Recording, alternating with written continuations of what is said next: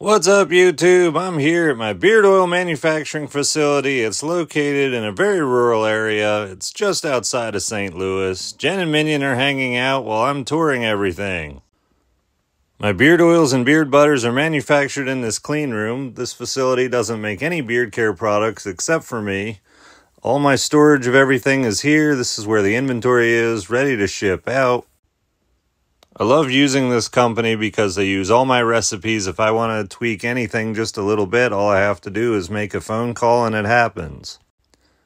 Enough about the inventory though. Let's go into the clean room and see what's happening. This machine on the left is what's used to make my beard butter. It heats and stirs the liquid. Well, it's liquid once it's heated up. And this is the dispenser for my beard oil. We're going to make the beard butter first basically start by pouring the different oils that go into it.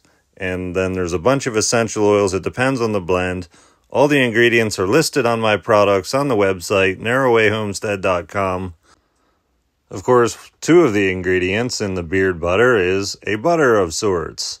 So it's actually carefully weighed out on this tray on a scale Truthfully, I'd make a lot more money if I had this stuff made in China instead of choosing USA manufacturing, but I don't feel like I would have the control over it and what goes into it and how it all works. Plus, I'm quite sure they wouldn't allow me to actually tour the facility.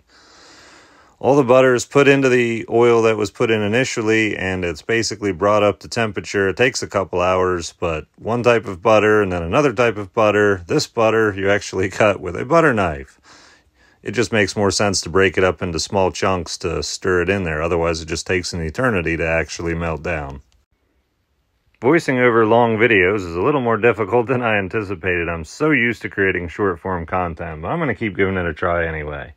Um, you guys have gotten me up to 106,000 subscribers. We've gained 62,000 subscribers here on YouTube in the last 30 days. Incredible.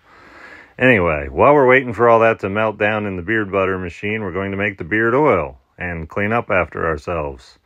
They're really good at keeping everything really spotless in here, which is just awesome for product quality control. All the oils are added, the base oils anyway, which are partly what helps with the um, hydration. The base oils are pretty much everything. The essential oils really just add fragrance for the most part, although they do have some different benefits. Again, it's all listed as ingredients on the website. You can look them up and then look up each ingredient. They're all natural. I refuse to put chemicals in these products and then make outrageous claims such as they make your hair grow faster or make it grow where it doesn't grow at all or anything like that. This stuff isn't a miracle grow for your face. It hydrates the skin under the beard, keeping it nice and itch free and keeping it from flaking, which is essentially like dandruff.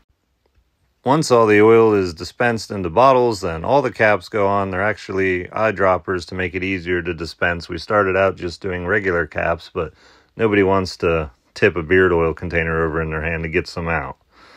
And we've got Minion playing with a random water jug for no reason. This is inserted into the video, but he was amusing me, so I just had to film it because he's awesome. All right, back to the beard oil. Make sure all the lids are tightened. I'm actually going to show you guys how I apply it. The beard butter is best for the beard itself, at least if you have a long beard like I do. But the oil, you want to dispense a small amount, like a dime-shaped amount, into your hand. Rub it so it's all over your fingers, and then you want to actually massage it into the beard. I really like to start underneath and actually get it to the skin because your face produces natural oils. It's enough to hydrate your face unless you grow a beard, and then usually, with most people, the oils actually can't keep up. So you end up having a uh, dry skin underneath there as your body tries to hydrate all the hair. Onto the labeler. This is a pretty straightforward process. It's kind of labeling by hand, but it's not quite the same as actually taking the sticker and trying to line it up on the bottle. That's extremely difficult. It's far easier to do it this way. For some reason, the camera switched the other way on me. Apparently, I'm having all sorts of recording issues, but hopefully you guys are kind enough to watch this video anyway, despite my unprofessional video um, skills. Once all the bottles are filled and labeled, they get put in a Ziploc bag to make sure they don't leak during shipping and then actually stuffed into a canvas bag with the Narroway Homestead logo on it, tied off and sealed, and then they're put back into a container that will be ready for you guys to order. The scents I currently have are Essence of Sawdust, Fresh Roast Coffee, Off Grid Evening, which is a cherry tobacco, and Minion Secret Formula, which is kind of a musk scent. Most essential oils are bad for dogs, and while this product isn't designed for dogs, I wanted to use ingredients that were completely safe for Minion. You never know when he's going to jump up on me and start licking my beard or something. All right, now the beard butter has been sitting here being stirred incrementally, and it's finally all dissolved, ready for the essential oils. They all get poured in there depending which scent we're doing. I think I'm doing Essence of Sawdust in this video. I don't even remember. But anyway, it's all blended together and then it's dispensed out of the bottom into these little tubs, which is how you guys get it. Most of the beard butters I've used I've not really liked because they were kind of greasy and smeary, and the formula I came up with really isn't that way at all. It comes out as a liquid, it gets the lid screwed onto it, and it actually hardens into a solid. Um, it's not real solid, but it depends how cold it is. Basically, when you apply it, you actually dig it out with your finger and let it completely melt into your hands before you put it on the beard. It's not as easy as applying a product with petroleum jelly, um, but it doesn't give you that nasty, smeary feeling in your beard. I'm just really picky about how the products behave in my beard.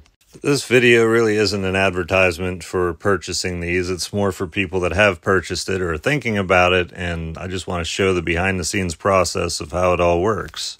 Again, thanks for all the subscribers, and I'll start uploading more long form content.